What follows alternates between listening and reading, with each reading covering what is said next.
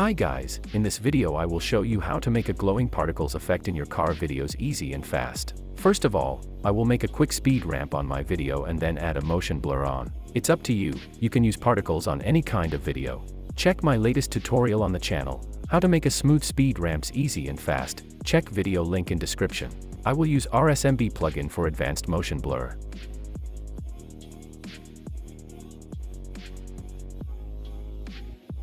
Once you are happy with your speed ramp, pre-compose your video, and let's track the camera. As the analyzing has finished, select some spots on a car. Right-click and select, Create Null and Camera. Now let's bring the particles video to our composition. I will leave a download link for this one in this video's description. Link particles layer to track null and enable 3D on particles. Press S on your keyboard and scale it until it covers the whole video. Let's adjust the particles, I will use Deep Glow to add some glow on particles and also change colors using Deep Glow plugin.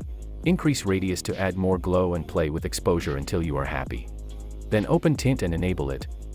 Change particles color to any color you want. I will stay on green 1. Expand chromatic aberration, enable it as well and add a bit of 3D look. Expand aspect ratio, enable it and play around with it until you're happy.